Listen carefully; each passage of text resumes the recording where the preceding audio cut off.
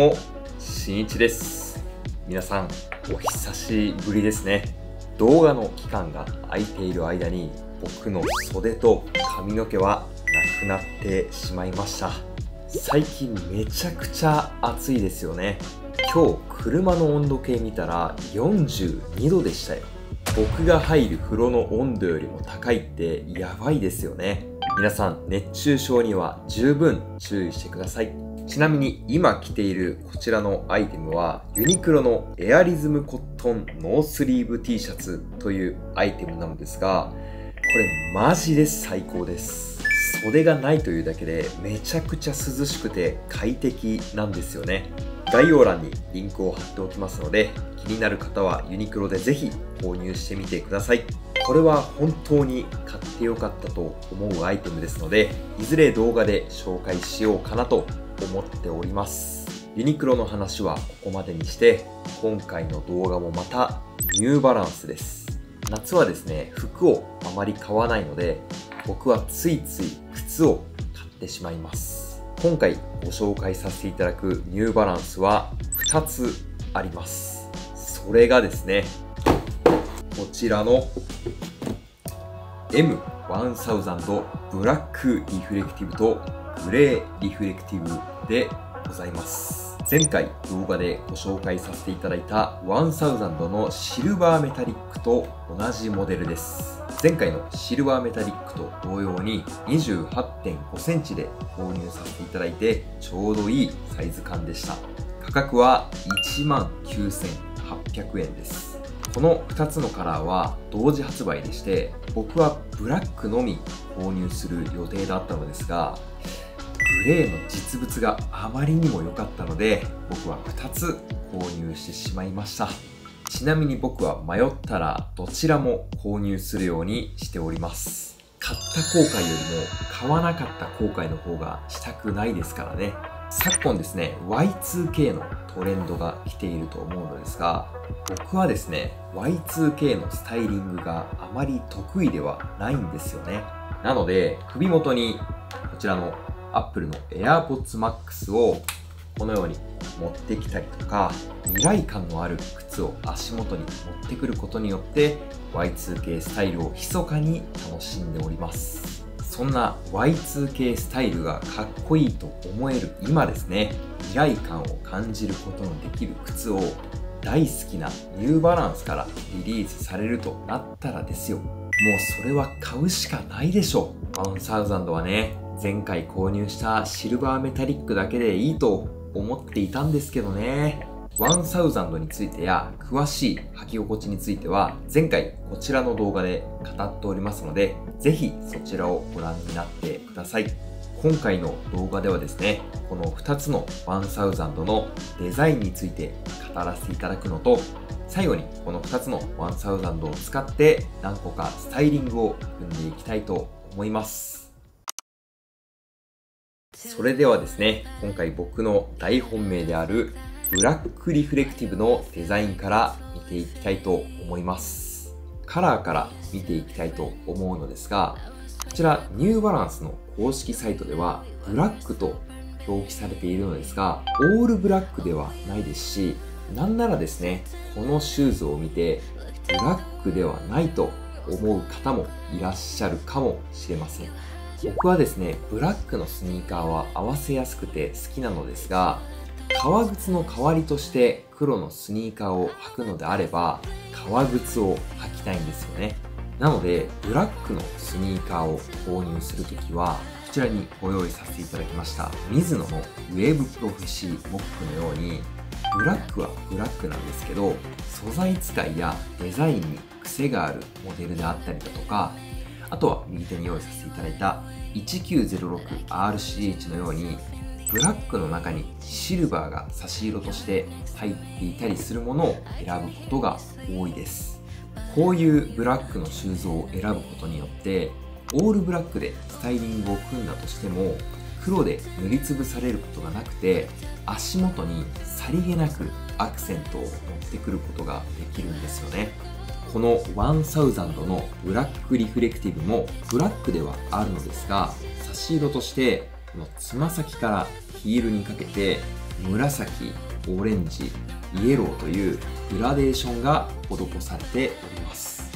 このグラデーションの滑らかな移ろいがですねウェービーなアッパーの1000にものすごくマッチしていて綺麗なんですよね。これがもし直線的なアッパーでこのグラデーションが施されていたとしたら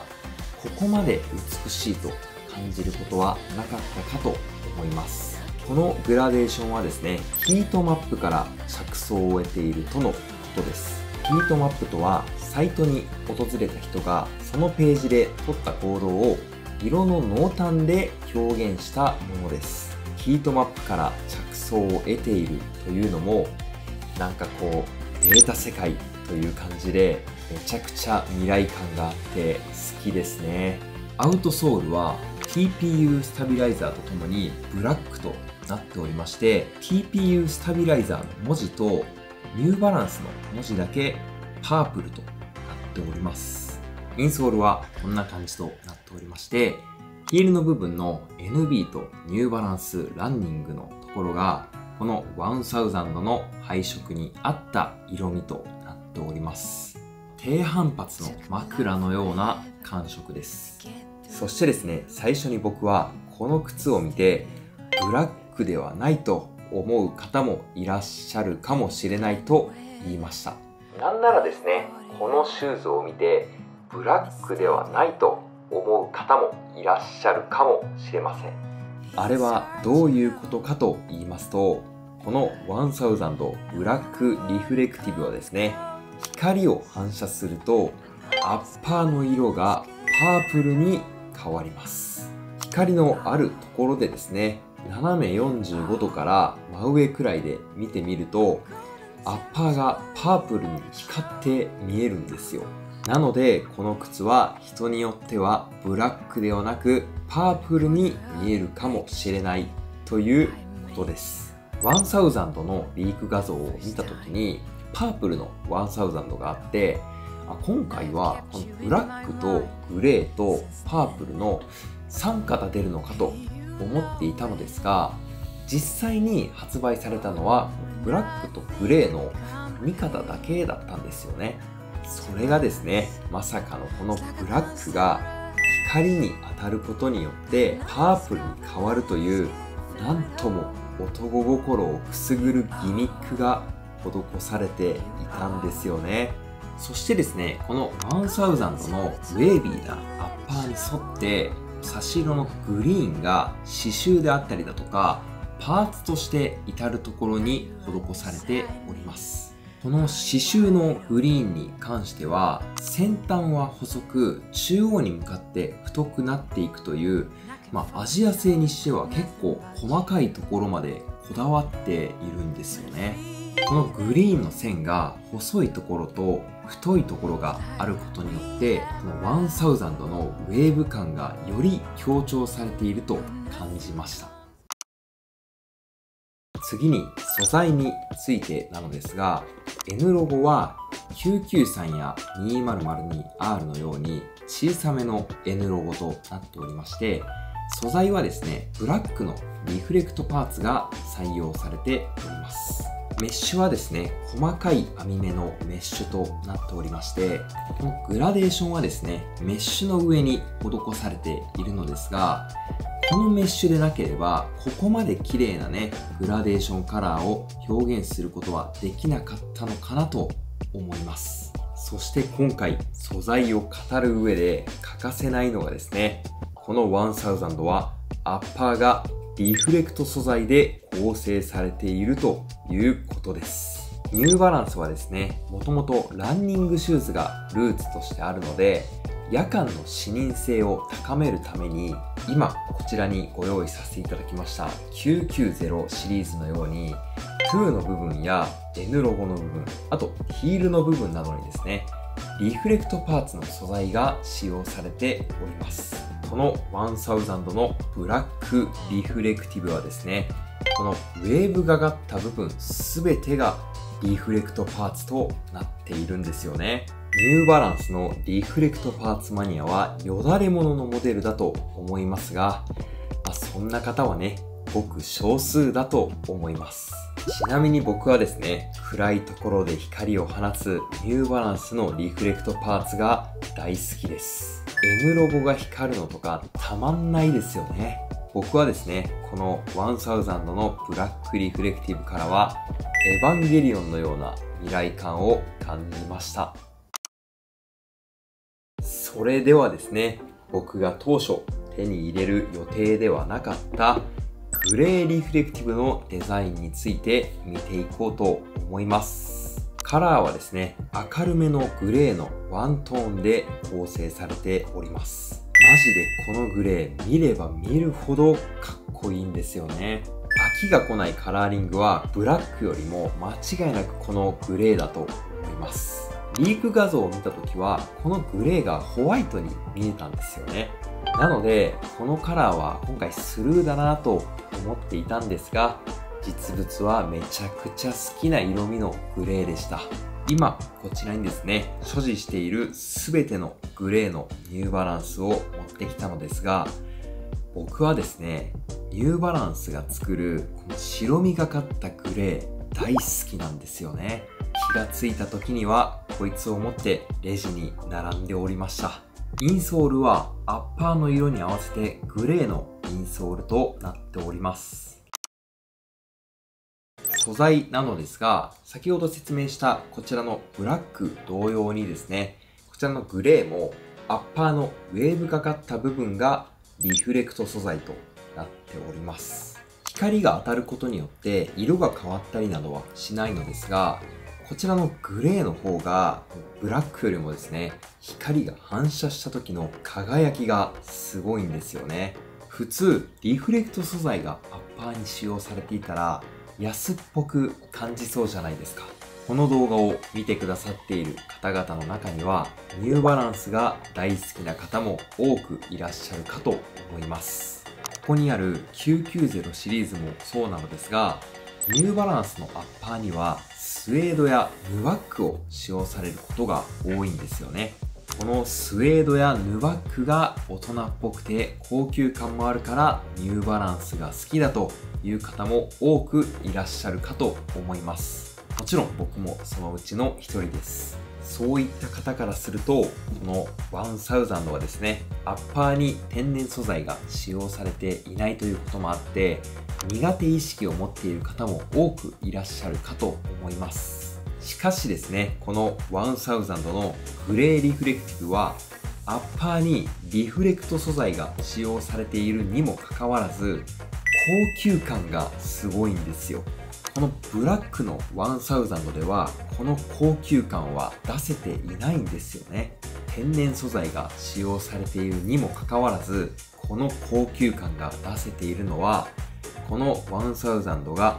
グレーだからだと僕は思っております。グレーについて語り出すと日が暮れてしまいそうなので、ニューバランスのグレーに関してはまた別で動画を作りたいと思っております。メッシュの部分はブラックとは仕様が異なっております。ブラックのメッシュはですね、生地が薄くて目が細かいメッシュであったのに対して、こちらのグレーリフレクティブのメッシュは、メッシュの生地が分厚くて、メッシュも目が粗く、粗メッシュの仕様となっております。紐もですね、ブラックの方は普通の黒のシューレースであるのに対して、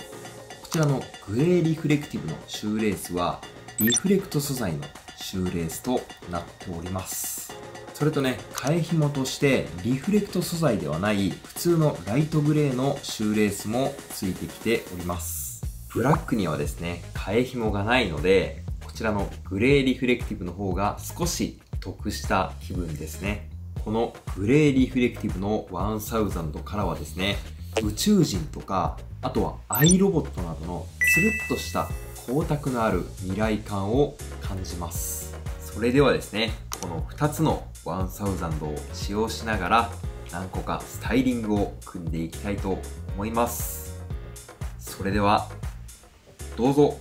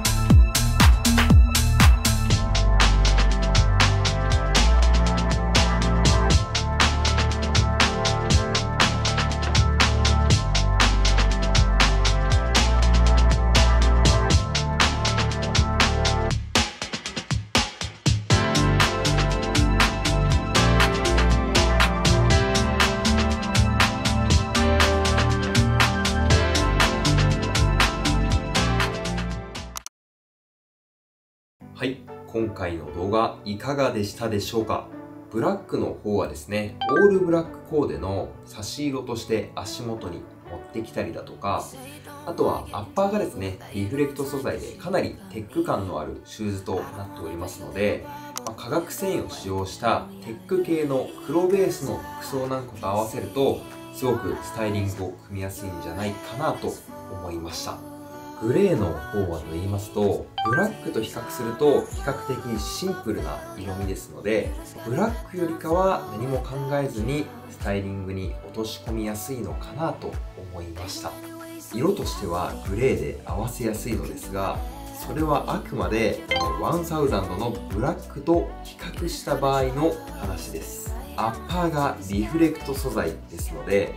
スウェードが使用されている990シリーズのようにデニムなんかと合わせたりすると少し足元が浮いて見えるかもしれません。しかしですねそれは逆を言うと足元にアクセントを持ってくることができるということです。今はですね Y2K スタイルが来ているので足元が光っていたら逆にかっこよく見えてくるかと思います。ブラックもグレーもですね発売と同時にオンラインでは速乾だったのですが二次流通ではですねまだそこまでブレネもついていないので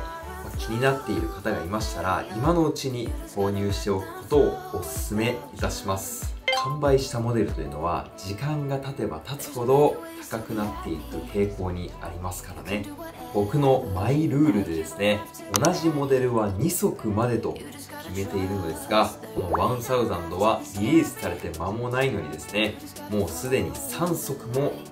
ております。なのでねいずれかどれか1つ手放すことになるかもしれません。皆さんはブラックとグレーどちらがお好きですか？ぜひコメント欄で教えてください。この動画を見てですね1000欲しいと思った方はぜひ高評価とチャンネル登録のほどよろしくお願いいたします。それとインスタグラムもやっておりますのでそちらのフォローもぜひよろしくお願いいたします。それでは次回の動画でお会いしましょう。バイバーイ。